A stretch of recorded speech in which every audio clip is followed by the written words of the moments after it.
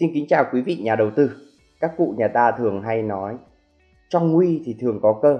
Thì hôm nay tôi sẽ giới thiệu đến quý vị và các bạn một cái cổ phiếu mà chúng tôi cho rằng là trong nguy có cơ.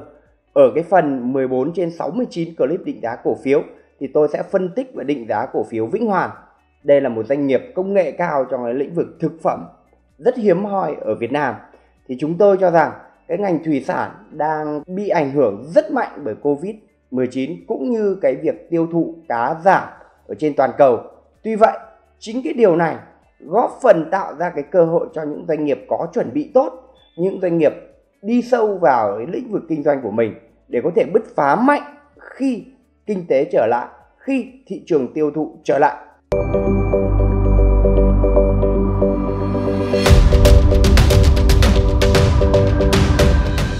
Và nội dung chính Hôm nay tôi trình bày về định giá cổ phiếu Vĩnh Hoàn gồm có 3 phần như sau.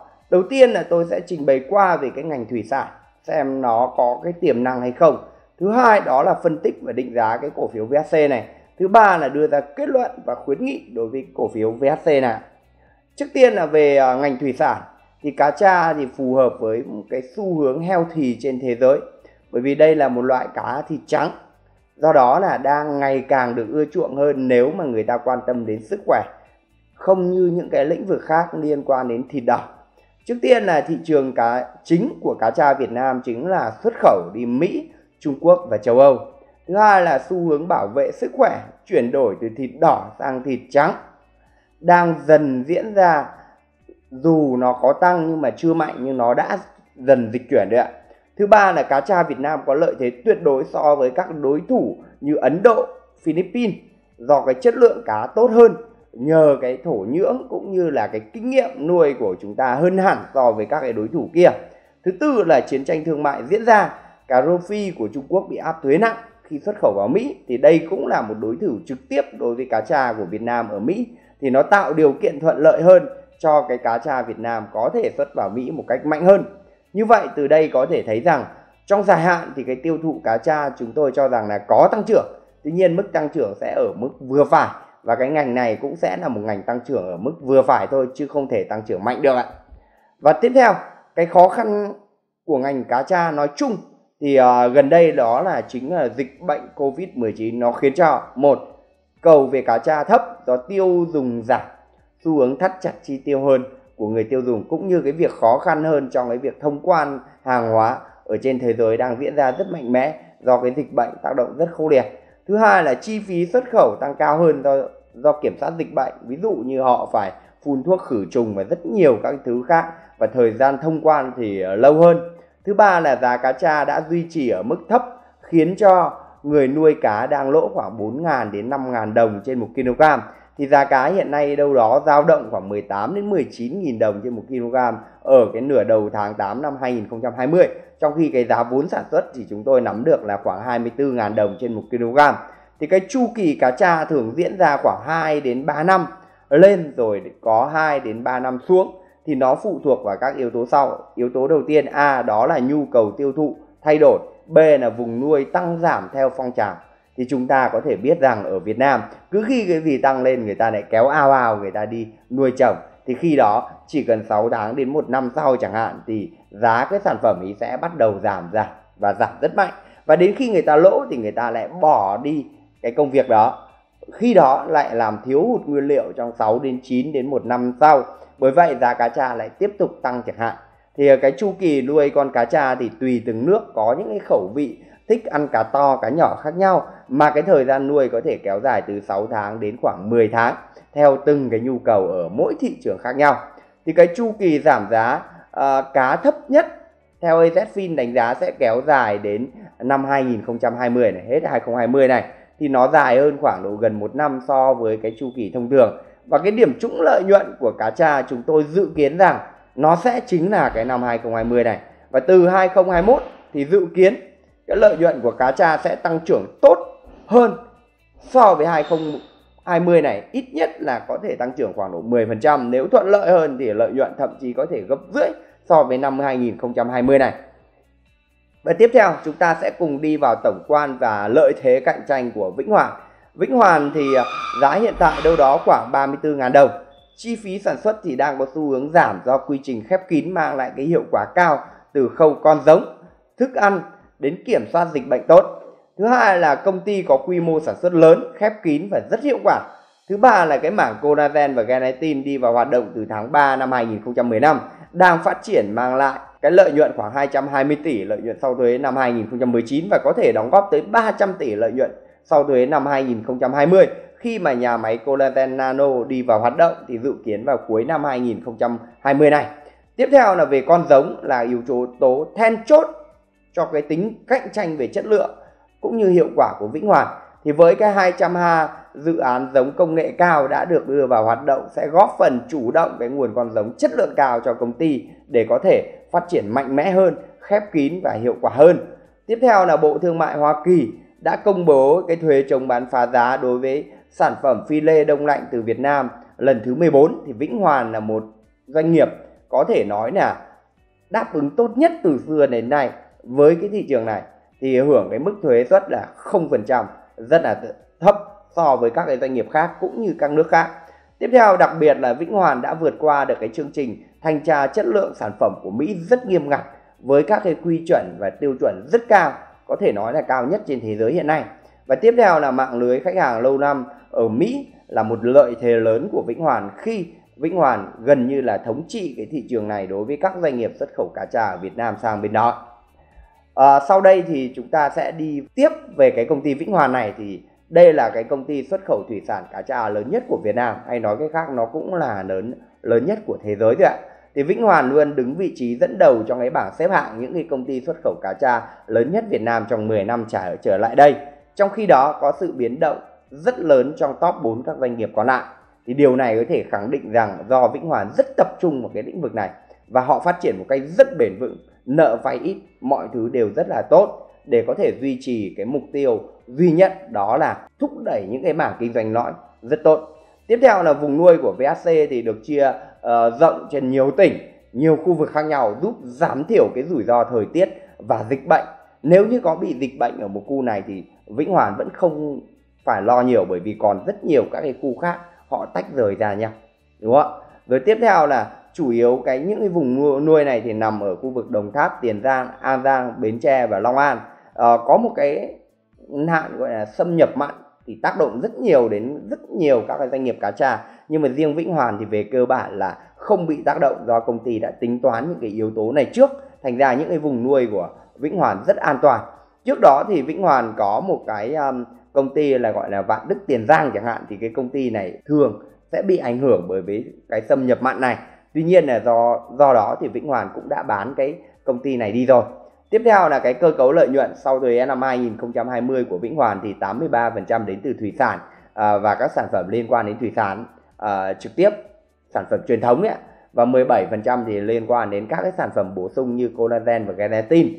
Thì nhờ sự tăng trưởng mạnh của cái dòng sản phẩm bổ sung giúp Vĩnh Hoàn hoàn chỉnh cái chuỗi giá trị của công ty và giảm thiểu rủi ro rất nhiều. Bởi vì ví dụ như đợt này các cái công ty cá tra khác thì lợi nhuận gần như về mức không nhưng Vĩnh Hoàn vẫn duy trì lợi nhuận khá tốt. Đó là nhờ công ty có cái sản phẩm bổ sung như collagen và gelatin hỗ trợ rất tốt. Và thực sự có thể nói rằng Vĩnh Hoàn là một trong số rất rất ít các công ty Việt Nam sản xuất được gọi là công nghệ cao trong lĩnh vực sản phẩm thì uh, theo như uh, thống kê ở trên thế giới thì thực sự cái phần phi lê của con cá ấy, thì đâu đó nó chiếm khoảng độ 35 đến 40 phần trăm toàn bộ giá trị của con cá thôi. Còn lại các cái sản phẩm khác của nó mang lại cái giá trị lên đến 60 phần trăm cơ. Các doanh nghiệp khác ở Việt Nam thì về cơ bản tận dụng được chủ yếu là chỉ là phi lê thôi. Còn Vĩnh Hoàn thì lại hoàn toàn khác. Nó tận dụng được rất tốt làm ra các cái sản phẩm collagen và gelatin rồi thậm chí các cái sản phẩm phụ phẩm khác như là vi cá vân vân chẳng hạn. Thì thực sự công ty này, chúng tôi cho rằng đã được xếp hạng vào, đó là công ty trong cái lĩnh vực công nghệ cao, thực phẩm công nghệ cao, chứ không còn đơn thuần là một công ty gia công nữa thì đây chính là một điểm nhấn rất mạnh mẽ của Vĩnh Hoàn để có thể đạt được cái mức định giá và nhìn nhận khác hoàn toàn so với đa phần các cái công ty khác. Rồi tiếp theo, trong năm 2019 thì tổng ờ, diện tích nuôi trồng là 625 ha, thì tăng trưởng 40% so với năm 2018 thì tỷ lệ chủ động vùng nuôi của Vĩnh Hoàn đâu đó khoảng 65%. Thì đây là một cái điểm rất thú vị của Vĩnh Hoàn. Chúng tôi không cho rằng là người ta chủ động 100% là tốt hơn 65% được, Hoặc là chủ động 30% là tốt hơn. Mà cái vùng khoảng 60 đến 80% chủ động nguyên vật liệu là một cái tỷ lệ chúng tôi cho rằng rất tốt. Bởi vì sao? Bởi vì nếu có chủ động ở mức vừa phải như thế này, hợp lý như này thì phần lớn nguyên liệu thì công ty cũng đã chủ động được. Nhưng mà sẽ giảm thiểu được rất nhiều lỗ nếu giá cá tra giảm. Chẳng hạn như năm 2019 2020 này khi giá cá tra giảm rất mạnh, công ty nào mà chủ động 100% nguyên vật liệu, tức là họ phải gánh lỗ rất lớn từ cái mảng nguyên vật liệu. Nhưng mà Vĩnh Hoàn thì không. Trong lúc giá rẻ như này Vĩnh Hoàn nuôi 65% chẳng hạn còn đâu họ gia tăng cái việc nhập rất là mạnh đó thì khi nhập thì họ lại không bị gánh cái lỗ từ từ cái phần uh, nguyên vật liệu đó tuy nhiên thì khi giá cá tăng tốt trở lại thì Vĩnh Hoàn cũng chủ động được một phần lớn rồi. Thế do đó là họ vẫn có thể hưởng lợi khá tốt nhưng mà không phải là quá đột biến. Thì cái yếu tố này nó giúp cho công ty ổn định phát triển trong dài hạn một cách rất là tốt. À, và chúng tôi kỳ vọng rằng lợi nhuận à, sau thuế thuộc cổ đông công ty mẹ của Vĩnh Hoàn à, năm 2020 là đạt 800 tỷ. Thì đây là một cái mức rất thận trọng của chúng tôi thì giảm khoảng 32,15% so với năm 2019 thì EPS khoảng 4.396 đồng. Thì nguyên nhân đến từ, một, nhu cầu tiêu thụ cá có thể giảm 15% do Covid-19 hai, giá bán tiếp tục duy trì ở mức thấp như đầu năm 2020 khiến cho mảng chăn nuôi cá lỗ khoảng từ 100 đến 120 tỷ. Nhưng bù lại Conagen sẽ tiếp tục tăng trưởng mạnh cái lợi nhuận sau thuế 2020 và có thể đóng góp lên đến 280 thậm chí 300 tỷ đồng lợi nhuận sau thuế. Thì đây cũng chính là lý do giúp VHC vẫn duy trì được cái mức biên lợi nhuận dòng trên 20% so với các cái doanh nghiệp khác chỉ độ 5% đổ đại. Thì đây là những cái điểm nhấn rất mạnh mẽ và rất là tốt về cái công ty cổ phần Vĩnh Hòa này. À, và sau đây thì chúng ta sẽ đánh giá về cái tình hình tài chính của công ty. Trước tiên đó chính là sức khỏe tài chính của Vĩnh Hoàn thì uh, thứ nhất là về cơ cấu nguồn vốn của Vĩnh Hoàn thì rất an toàn với nợ vay trên vốn chủ sở hữu chỉ khoảng 16,19% thấp nhất trong các doanh nghiệp trong ngành à, nếu mà tính nợ vay ròng tức là à, lấy tiền và tương đương tiền trừ đi các cái khoản nợ vay này hay lấy đầu tư tài chính ngắn hạn trừ đi thì nợ vay của Vĩnh Hoàn còn âm cơ. Thì nguyên nhân do nợ vay ngày càng giảm vì cái dòng tiền từ lợi nhuận từ hoạt động kinh doanh của Vĩnh Hoàn rất tốt đổ về rất nhiều do đó công ty dần dần trả nợ rất mạnh mẽ trong khi vốn chủ sở hữu công ty này tăng lên liên tục nhờ cái lợi nhuận sau thuế giữ lại bởi vậy cho nên tỷ lệ nợ của Vĩnh Hoàn giảm từ mức gần 60% năm 2016 xuống đâu đó còn có 16,19% trong 6 tháng 2020 thậm chí công ty muốn có thể giảm về không bất cứ lúc nào nếu công ty muốn. Tiếp theo cái tỷ lệ chiếm dụng vốn của à, Vĩnh Hoàn thì duy trì ở mức thấp thì cái điều này có thể nói là chưa được tốt lắm. Tuy nhiên khi chúng tôi xét trong cái tổng thể ngành cá tra thì đây lại là một mức rất bình thường bởi vì do cái đặc thù xuất khẩu rất là xa. Do đó là công ty sẽ bị chiếm dụng vốn uh, một phần tuy vậy, cái tỷ lệ chiếm dụng vốn phải thu ấy, chúng tôi chia cho doanh thu thì thấy rằng nó hoàn toàn rất là an toàn và đáp ứng được mọi yêu cầu của đánh giá về cái tình hình sức khỏe tài chính. Cụ thể hơn là tiền về cũng rất nhiều, do đó mới giảm nợ vay như tôi vừa mới trình bày ở trên. Như vậy thì có thể nói là sức khỏe của Vĩnh Hoàn là một doanh nghiệp tốt hiếm có ở trên cái thị trường chứng khoán à, nói chung và trong cái ngành cá trà nói riêng. Tiếp theo là về đánh giá khả năng sinh lời của Vĩnh Hoàn uh, thì nó thường tăng giảm theo chu kỳ. Tuy nhiên cái sự ổn định của Vĩnh Hoàn nó cao hơn so với rất nhiều các doanh nghiệp thủy sản khác như chúng tôi đã trình bày. Và trong tương lai sẽ ngày càng ổn định hơn nhờ cái việc là có collagen và gelatin cũng như là Vĩnh Hoàn chủ động một tỷ lệ vùng nuôi nhất định để có thể giảm thiểu rủi ro. Thì à, một là doanh thu của Vĩnh Hoàn thì biến động khá phập phù do nguyên nhân là chu kỳ à, làm giá cá giảm cũng như là tiêu thụ trôi sụt à, và chu kỳ như tôi đã trình bày khoảng 2 đến 3 năm à, lên và 2 đến 3 năm xuống. Thứ hai là về lợi nhuận sau thuế cũng biến động phập phù nhưng theo xu hướng là xoáy trôn ốc đúng không ạ? Tức là cái lợi nhuận tuy cái chu kỳ sau cũng có giảm nhưng mà mức thấp nhất của chu kỳ sau lại cao hơn mức thấp của chu kỳ trước. Mức cao của chu kỳ sau lại cao hơn so với mức cao của chu kỳ trước. Chính vì thế cho nên là về xu hướng thì đây vẫn là một cái doanh nghiệp có sự tăng trưởng rất tốt trong cái hiệu quả kinh doanh. Đó, về hiệu quả sinh lời ROE của Vĩnh Hoàn thì tuy giảm mạnh ờ, nhưng vẫn ở mức tối thiểu là 16% ờ, trong cái năm 2020 này. Và khá hấp dẫn ở, do đây chính là cái điểm trũng của chu kỳ mà công ty còn đạt được cái lợi suất hơn hai lần so với lãi gửi ngân hàng. Vậy thì khi kinh tế trở lại, mọi thứ tốt trở lại thì cái ROE Vĩnh Hoàn có thể rất cao. Đó có thể rất cao. Hoặc là công ty có thể trả cổ tức đi đỡ đi thì cũng sẽ làm cái hiệu quả kinh doanh của công ty cao lên. Thì uh, như vậy là tôi có thể đánh giá rằng cái hiệu quả kinh doanh uh, suy giảm mạnh do đang vào chu kỳ uh, suy thoái kinh tế và chu kỳ cá tra kéo dài thấp từ năm 2019 đến 2020 nhưng mà dự kiến nó có thể kéo dài đến cuối năm nay hoặc cùng lắm là đầu năm sau thôi. Thì Vĩnh Hoàn lại có thể trở lại rất mạnh mẽ và rất tốt trong cái tương lai đó tiếp theo là đánh giá về cái dòng tiền thì có thể nói là dòng tiền của Vĩnh hòa là tốt hiếm có trên thị trường. Dòng tiền từ hoạt động kinh doanh chúng ta có thể nhìn thấy ở đây dương và duy trì nhiều năm liên tục rất lớn đấy ạ. Nguyên nhân của dòng tiền này đến từ kết quả kinh doanh rất tích cực rất hiệu quả và rất cao. Thứ hai là dòng tiền hoạt động đầu tư âm lớn đến từ đây âm rất lớn đến từ việc là Vĩnh Hòa liên tục xây dựng uh, nhà máy collagen này rồi xây dựng uh, các cái vùng nuôi nuôi Ờ, mới để tăng cái tỷ trọng ờ, lên 65% chủ động bên cạnh đó là ờ, xây dựng cái vùng nuôi cá giống 200 hecta cũng phải đầu tư rất lớn thì chúng tôi cho rằng cái việc Vĩnh Hoàn đã bắt đầu đầu tư về cơ bản là hòm hòm xong rồi Ngoài ra chỉ còn cái đầu tư cái nhà máy collagen vào năm 2020 này mà thôi. Từ 2021 trở đi cái nhu cầu đầu tư của Vĩnh Hoàn là rất thấp.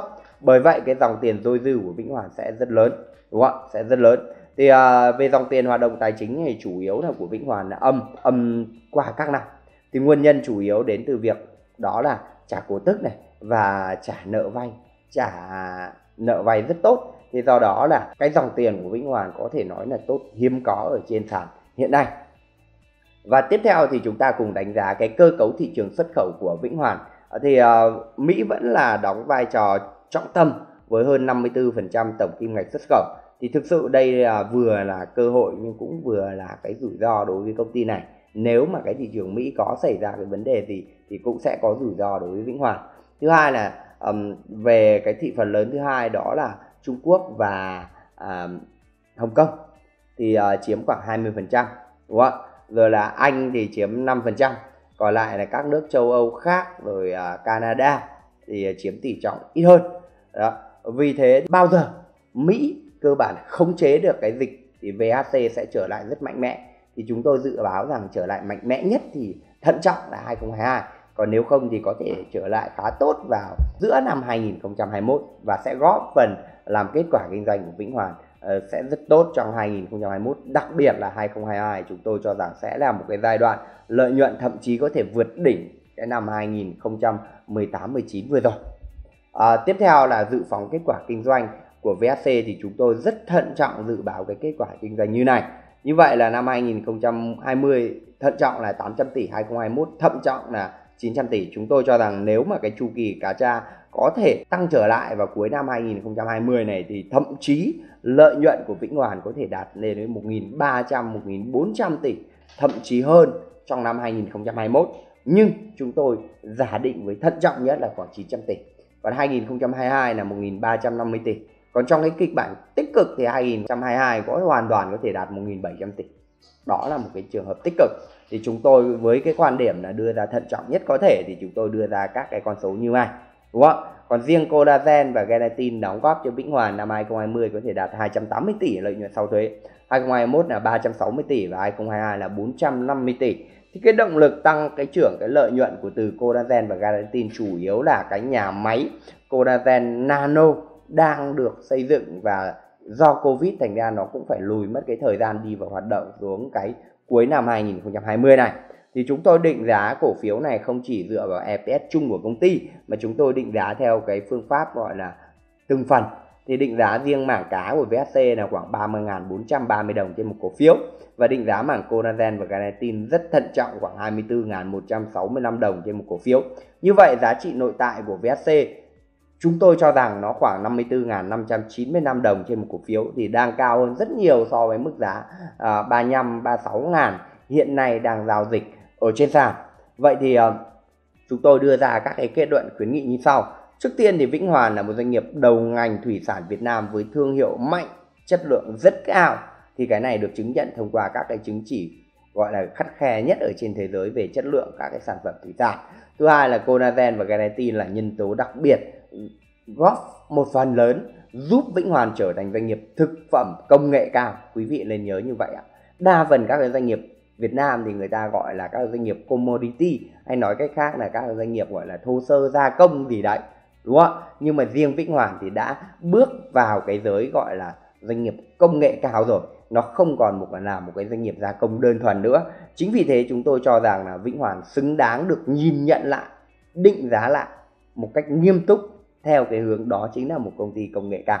Đó. Thứ ba nữa là năm 2020 thì khả năng rất cao là đáy của cái kết quả kinh doanh Vĩnh Hoàn khi mà giá cá có thể uh, tăng vào cái cuối năm nay. Chúng tôi dự rằng là có thể tăng cuối năm nay. Hiện nay thì cũng đâu đó cũng đang dục dịch cái cá cũng chuẩn bị hồi một chút do lượng uh, người nuôi cũng đã bỏ chuồng nuôi cũng khá là khá là nhiều rồi đang bỏ khá là nhiều. Tuy nhiên do cái cầu tiêu thụ giảm cầu giảm thế thành ra là cái lượng bỏ, ao nuôi như vậy thì nó cũng chỉ giảm cái phần gọi là thừa thừa cung mà thôi. Còn đến nữa, khi mà cái cung cầu tăng tốt lên, cộng thêm người ta tiếp tục bỏ vùng nuôi thì giá cá hoàn toàn có thể tăng lên. Tiếp theo, và cái kết luận cuối cùng của chúng tôi đối với cổ phiếu này đó là Vĩnh Hoàn xứng đáng có trong danh mục đầu tư trung hạn của bạn nếu bạn yêu thích cái ngành thủy sản này. Bởi vì vì sao lại là trung hạn? Thông thường chúng tôi thường khuyến nghị các cổ phiếu là phải dài hạn đúng không ạ? Nhưng riêng vĩnh hoàn thì chúng tôi chỉ khuyến nghị trung hạn thôi. Bởi vì do cái ngành cá tra thường có chu kỳ khoảng 2 năm. Tức là hai năm rất tốt rồi hai năm lại đuối dần. Thế thành ra là chúng ta có thể tận dụng những cái này và mua vào từ cuối các cái chu kỳ uh, xấu và bán ra ở cuối cái chu kỳ tốt. Thì đâu đó đầu tư vĩnh hoàn chúng tôi cho rằng nếu bây giờ tham gia thì có thể mục tiêu là đầu tư 2 năm tới tức là đến cuối 2022 đó là những cái cơ hội rất tốt trong trung hạn. Đó, thì trên đây là tôi đã khuyến nghị cái cổ phiếu Vĩnh Hoàn rồi. Nếu quý vị và các bạn có quan tâm đặc biệt về các cái tư vấn rất chuyên sâu của AZFIN Việt Nam, tư tư vấn riêng dành cho quý vị, thì quý vị và các bạn có thể liên hệ với tôi thông qua cái số điện thoại 0966 249 888 hoặc là quý vị và các bạn có thể add Facebook tôi tên là Đặng Trần Phục thì để cùng giao lưu, cùng chia sẻ và AZFIN có thể hỗ trợ quý vị và các bạn tốt nhất, đó chính là cái những cái giá trị gia tăng cao nhất của AZFIN Việt Nam. Thì xin chào quý vị và các bạn. Chúc quý vị và các bạn đầu tư một cách hiệu quả, thành công, bền vững và sớm tự do tài chính.